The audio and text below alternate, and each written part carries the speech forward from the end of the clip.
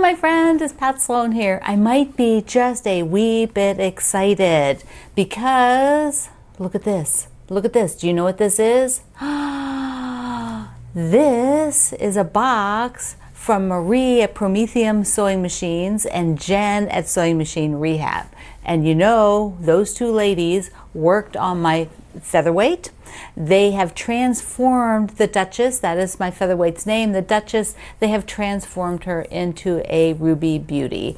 And so we're going to open it together. I okay, so I don't do that many unboxings of things. So, you know, I might be a bit dorky at this, so you're going to have to bear with me, but the box, they packaged it so nicely. Look at this all it's huge. This is huge. The featherweight is probably like here. You know sitting in the middle of this. Uh, so they sent me a little a little card. So i've got ah okay.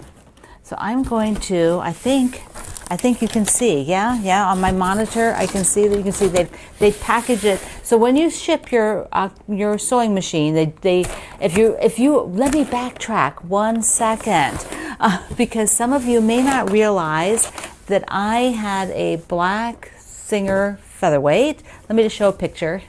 I've had this featherweight for a while because it was given to me. Um, my mother in law purchased it to use when she went sewing. Uh, she had purchased it from some guy she knew who did antiquing. And so it has no family history whatsoever. Madge used it for a little while, and when um, she was kind of not going to be doing that anymore, she gave it to me. And I've had it probably four years.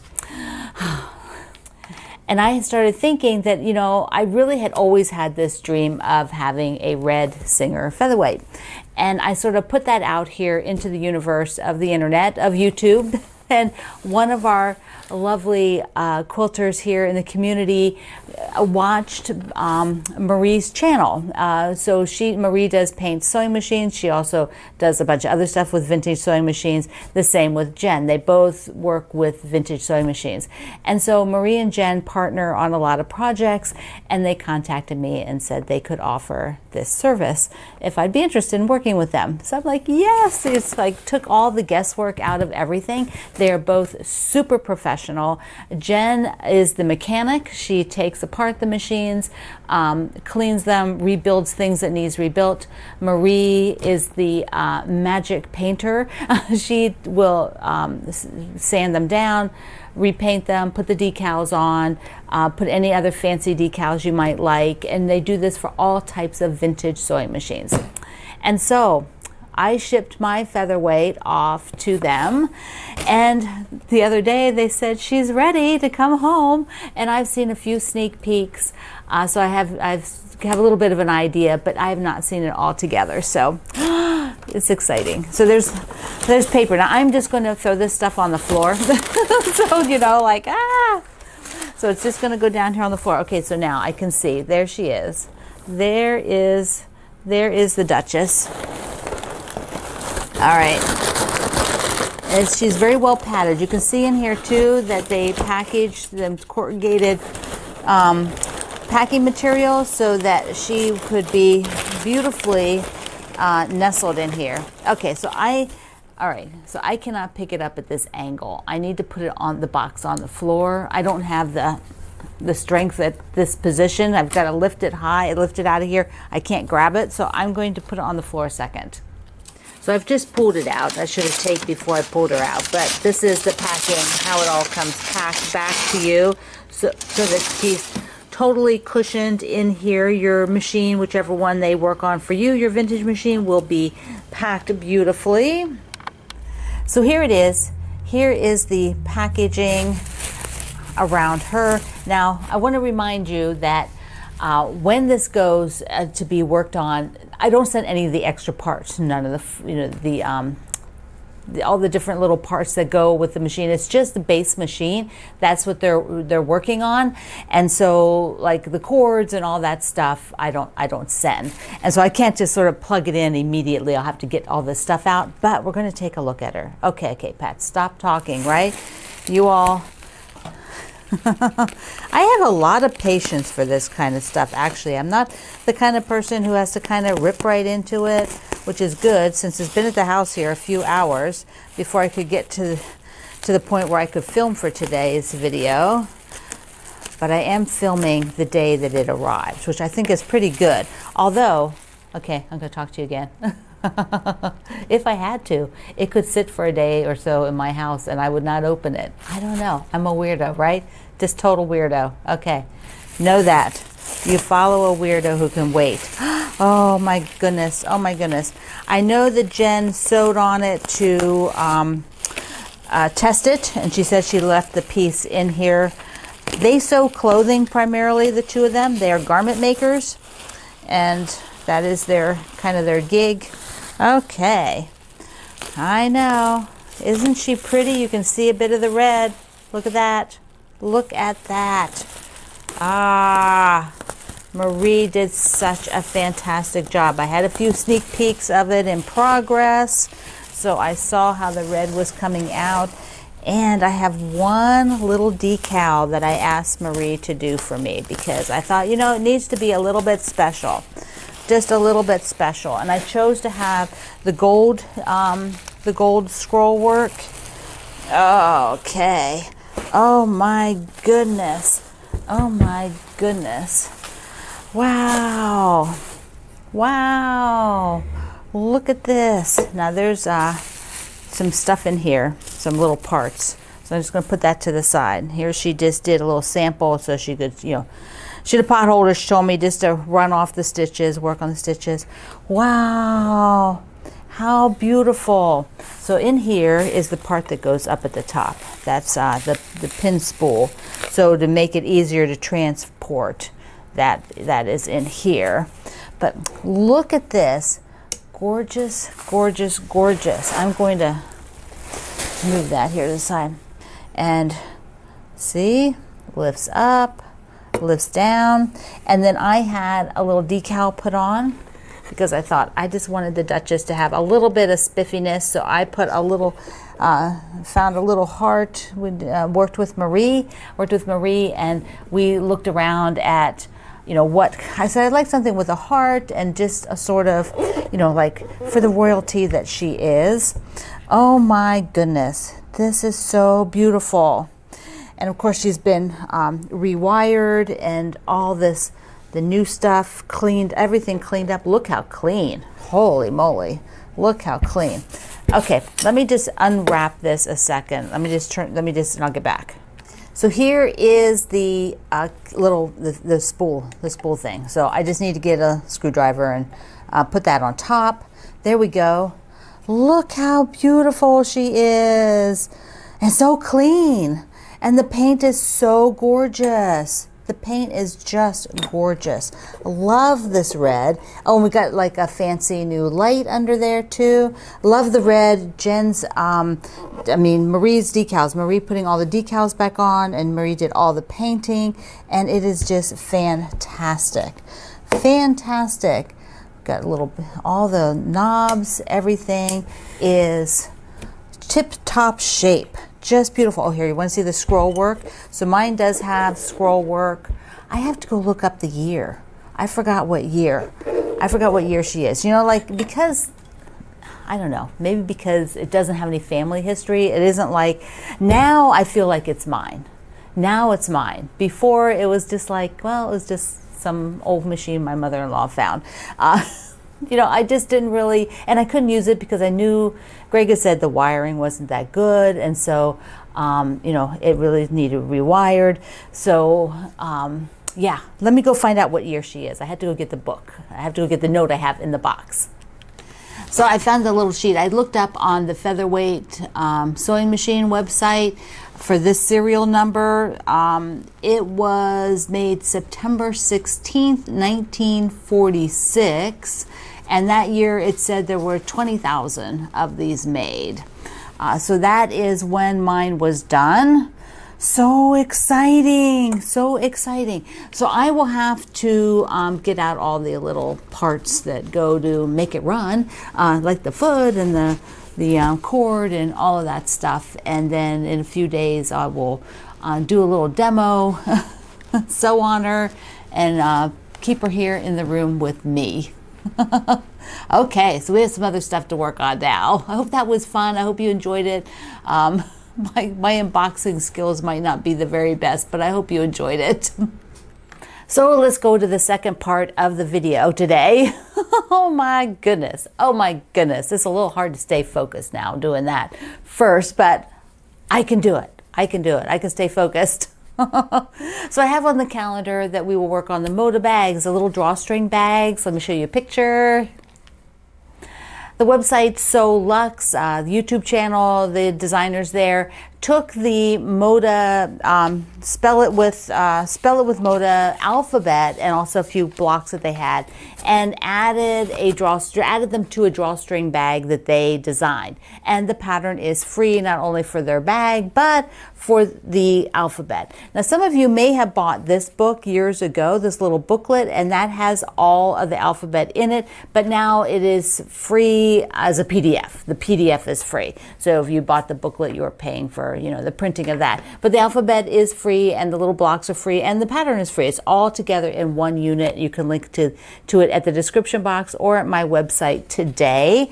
Um, if I think of it, I'll put it on the project pages, like projects we're doing. So to do the drawstring bag, let me just show you my fabrics. I had purchased this a long time ago, and let me just show you who it is in case you have a friend who loves crows and you want crows on pink. So this is the fabric line, Drop Dead Gorgeous from Paintbrush Studio, um, and I bought it maybe a year or so ago. Uh, and my friend loves crows very, very much. So I thought this would be a cute bag, and I'm going to make her bag. Now, I want to do a star rather than her initial. Um, so you could do an initial, like the initials are, these are eight inch blocks, by the way. So here are the you know, spell it, the spell it letters, all the different letters. If you want to do an initial, I am going to do a star I'm going to just do this star and I'm going to have uh, star points in my drawing room. So there will be star points in this and then I will do the little inside here, you know, around the, a crow. So I'll center a crow and then frame it with the hot, the little bit hot pink there. So, and then I don't know if how much pink there'll be of this, but if there's enough, I'll just do the inside of the drawstring bag pink, and then probably the um, the strap, you know, to close it in black. So first of all, we need to make the block. First thing I have to do is the center, and that's a four and a half inch square. And I want to get one crow right in the middle because there's going to be frames around it. And so uh, I'm going to have to go to this one because the other ones are all too close to the edge. Let me see. Ah, that one actually is a little off center. If I, it, I kind of eat into that selvage a bit. So ah, I think I can do it. I'm just going to cut it and see. I'm going to cut it and see if I like it. So that way I don't have to be chopping over into the middle, which is always a plus. That way it's a lot less waste. This, um, whatever you're putting in the middle, whether you're doing the letter or one of the blocks, is not that big. So here we go. So I've got, I've got this at four and a half. We'll see what it looks like. And okay, so there's the four and a half. Now I am going to audition, so that'll be the middle of the block. So I am going to audition the other fabric. Where, oh, here it is. Okay, so I need two, two and a half inch squares, four of them. And then I'm going to fold them there and audition it. That way I know if I'm covering up the crow too much, because I do not want to do that. Um, so I can do two at a time, four and a half plus, okay, not four and a half, two and a half. Don't listen to me. Do not listen to me. And so I am cutting because the auditioning is so nice. I know I'm going to use these, but I'm not going to have to sew it to be sure that that center is correct. I can just go ahead and put everything down and I'll get some pins. So basically, it, ouch, Ouch, I stuck myself. Okay, so here we go. Looks like this. looks like this. And these foam boards, you can just stick right into them, no problem, no problem. And we have here, so this will be, here we go. All right, I like it. All right, so he's okay. He's not going to get chopped off. I'm not sure I like that pink though. There's going to be the black star. I, I don't like that shade of pink. I know likey. I know likey. Okay, I'm going to get another pink. Plan B, because I actually had thought about doing this before using the drawing room, the sort of darker prints, and then uh, these can go in my two and a half inch square bin. So with the pinks, no waste. But I think I'm going to use another piece of drawing room that's for these guys. So I think that's what I'm going to do, unless I switch that and these will be the star points. But I don't think so. I think they want the star points the more muted, you know, like the tone on tone one. Okay, there is another pin somewhere here and I don't see it. So let's grab another one. Oh, there it is. Now I see it. Of course. Of course, now I see it. Oh, let me fix that one. Okay, so there we go. Okay, I like that better. I like that better. So the star points then will be the black, and then this will be the surround of the crow. So that crow works. All right, what I will do is make this block. Here are the parts. You've got two and a half inch squares, two and a half by four and a half inch rectangles, and more two and a half inch squares. And these guys make the star points. So they will be like this. And I'll just I'll just tack this one down so you can see. So here will be the start point. And I will go ahead and now I will sew this block up and then I'll have that part done for the uh, draw bag, drawing, drawstring bag. So here is the middle block or the block for the middle of the drawstring bag. Now what I'm going to do with the drawstrings, oh please, if you haven't met Duchess, here she is. Here she is in all her loveliness. I just had to have her here at the end. oh, okay. So, anyways, what was I saying? I'm very distracted. uh, tomorrow I'll do more drawstring bag. I think I'll just keep working on this one, and I had it for for like next Wednesday as well on the calendar, and so maybe I'll make a second one. I don't know, but I just think like I'll just work through it. Um, you know, probably work after this finish this video is all done. I'll probably just start filming for the the bag part. But anyways there's the middle and i love how the how, i love how the crow is. My friend will be so surprised and i don't think she watches these videos so she won't know. She won't know. Okay i have the Breakfast Club supply list and layout. This is our, um, it's going to be done, done on Wednesday. It's an applique. It's all applique except for the setting is not applique. Uh, and it is breakfast foods. That's what it is. A little applique breakfast foods, and they're small blocks and they're easy applique. applique, and I'll be doing fusible applique by machine. So when you download this, you get the supply list and the pattern.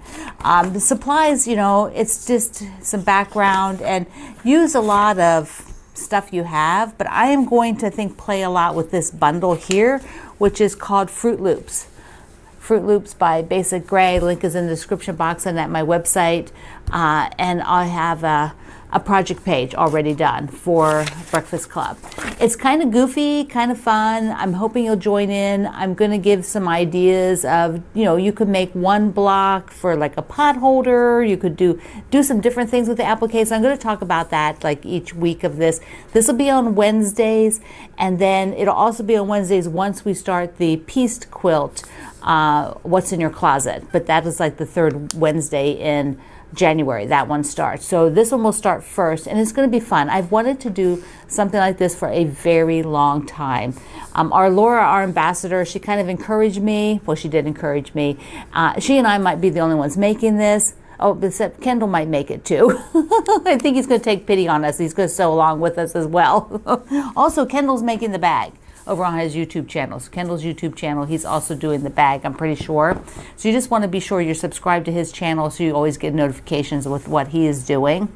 But um, yeah, this is called Fruit Loops. Breakfast, Fruit Loops, yeah. Of course. And I'll probably go diving into my stash as well. Even if I don't use maybe what's in the stash, just go looking for things, breakfasty kind of things. Anyways, you want to go lo- download this. And if you've not done any applique, but you've been curious about it, maybe you'll make a block or two and do something, you know, fun like a pot holder or a mug rug, um, something something you know, along those lines, something maybe for the center of your kitchen table. And we are at what is that? What is that? 106,000 for my YouTube channel now. So I will switch this out. Our friend made this for me. Oh, I, the tape's on the back. Oh, boogers. Okay. Oh, there we go. It came off. Uh, wait, wait, wait, wait, wait for it. Okay, there we go. There we go. Ta-da! And so I will hang that one back up. It's because it's fun. There's the 100,000 plaque from YouTube there hanging on my wall because it's it's kind of a big deal, kind of a big deal. Um, so when we get to 110, maybe I'll have to do something. Maybe I'll have to give a quilt away again at 110. We'll see. We'll see. So I am. You are going to see more of the Duchess.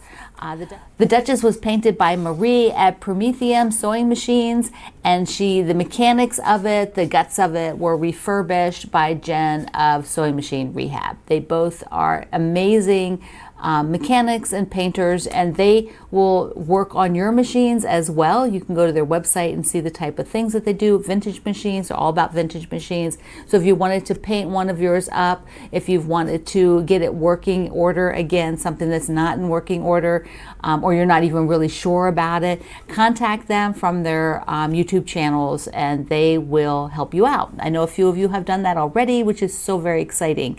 So we're going to talk about this machine again uh, in a few days when I'll fire her up and so on it. And uh, that's so exciting. So exciting. Okay. So, a lot of stuff today, and I'm very distracted. so, I love you. Thank you for being here in the Sloan Zone. I will see you online.